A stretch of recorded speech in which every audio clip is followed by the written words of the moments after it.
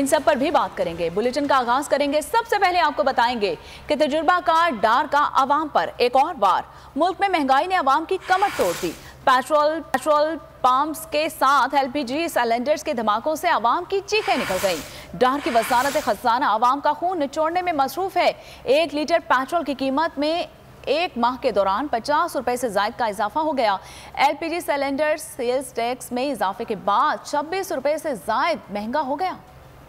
शहबाज सरकार आवाम पर कहर ढाने लगी। दिनों के बाद अब घंटों में महँगाई सताने लगी। डार आईएमएफ गठजोड़ से मुल्क में महँगाई की नई सुनामी आ गई। 250 का पेट्रोल अब दो सौ बहत्तर रूपए में मिलेगा।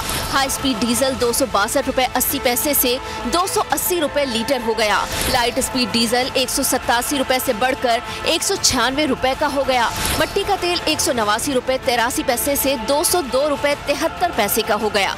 महँगाई की नई लहर ऐसी शहरी परेशान हो गए।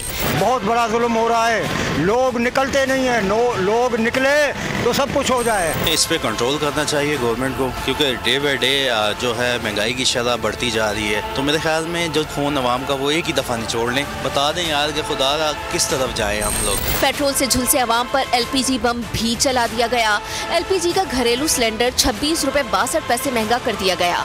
एलपीजी के घरेलू सिलेंडर की कीमत तीन हज़ार एक सौ इकतालीस रूपए उनतीस पैसे हो गई। बोल उड़ाएगा, सबका होश। भूल जाएँगे, सब अपना जोश।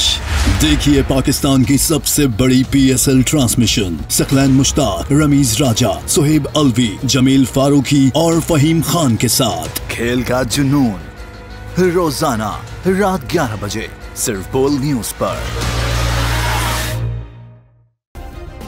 सब्सक्राइब करें और बेल दबाएँ ताकि कोई खबर रह न जाए।